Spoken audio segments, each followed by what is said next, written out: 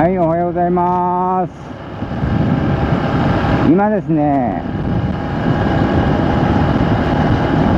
チュンポンまで160キロのところまで来ております。はい。昨日はですね、深夜3時半に別着を出まして、10時半頃かな、バンコクへ到着して、えーミーティングをですね、え1本やりまして、でその後ですね、えー、Facebook のお友達と、えーお会いしまして、えーお茶しました。はい。その後ですね、郷さんがプロデュースしています、えーマーケットね、はい、お店の方へ、え行ってですね、様子をね、見てきました。はい。それからですね、郷さんと、ハイフィレンクジさんと、武田さんとね、4人で、スッキー、キーノイ、うん、スッキーなんとかっていうですね、えー食べ放題の方へ、えー行きました。はい。いや、なかなかリーズナブルでね、安くて美味しかったですよ。はい。まあ、それでですね、その食事の後、えー実はね、宿泊場所を取っていなかったので、えーそのままね、バイクを走らせました。はい。眠たくなかったんでね。はい。でですね、3時過ぎぐらいにですね、えー、ホアキンの方へ到着しました。はい。それでね、入ったところ、え宿泊場所がね、なんとなんとね、えーラブホテルでございました。はい。で、ラブホテルなんですけども、え、190バーツっていうね、お安いと思って、えー宿泊をしたわけですが、えー2時間後にですね、えーお部屋にあるね、電話が鳴りまして、休憩終わりですよ、と。休憩かいみたいな。おいおいみたいな。いやー、びっくりしたわ。うん、こっちはね、宿泊と思ってたんで、えー一人で、一人で、あのー休憩ししないでしょ、普通。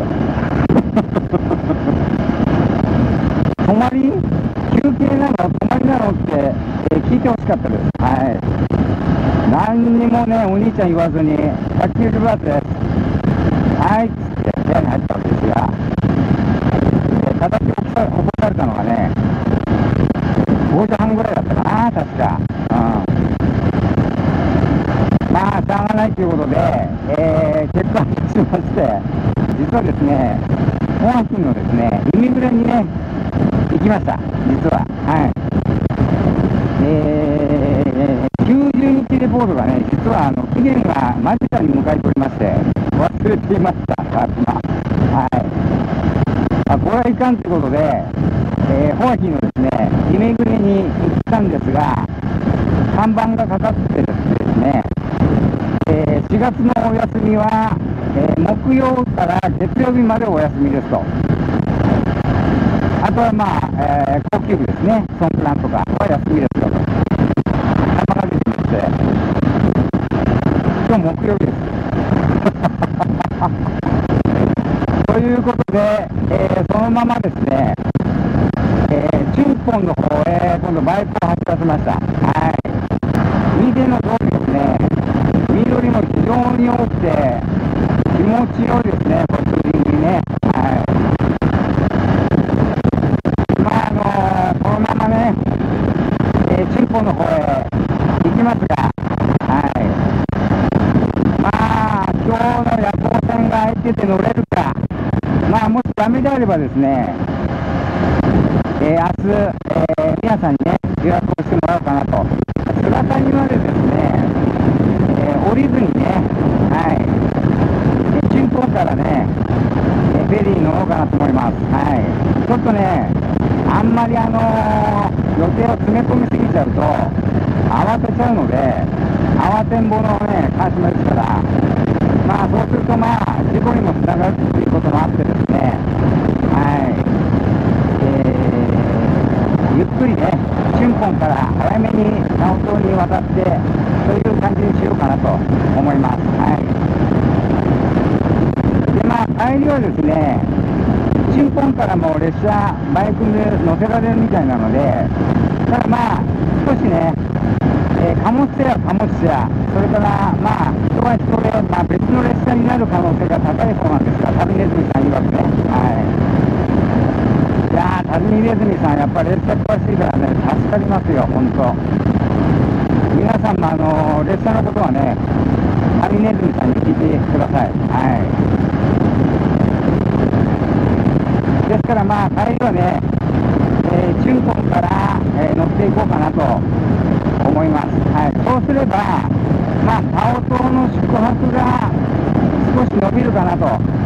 まあ、それはそれでいいんじゃないと感じですね。はい。まあ、姿谷のですね、まあ、温泉とか、それからまあ、綺麗な湖みたいのも、実はあるんですけど、見どころは。まあまあまあまあまあ、タオトでゆっくりワークインステーションした方がね、いいかもしれませんね。はい。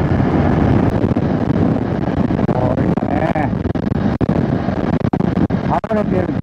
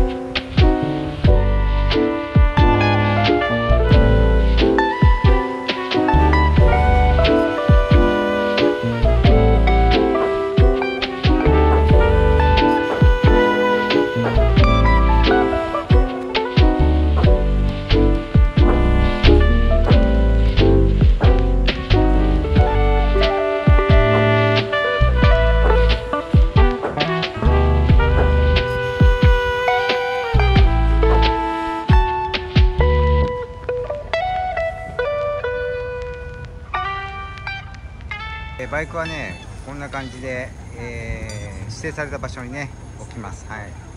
それでねこういうのを なんともまあ一応これを持ってけってことなんだろうね、うん。みんなあの貼ってありますね。あのビニールですねついてますはい。であの乗せるのはですねスタッフの方が、えー乗せていただけるようです。おはようございます、えー今ね4時半でございますおそらくね4時ぐらいには接岸したんでしょうかね。もう記憶にないです。はい。起きたら起きた瞬間にもうタオ島に着いてたっていうね。はい。タオ島に到着いたしました。いやー久々でございます。はい。通常は向こう側の奥にですね、えー高速船なんか止まりますけどもこちら逆側ですね。はい。さあこれからね今日はあの皆さんのとこに宿泊なんで連絡をしたいと思います。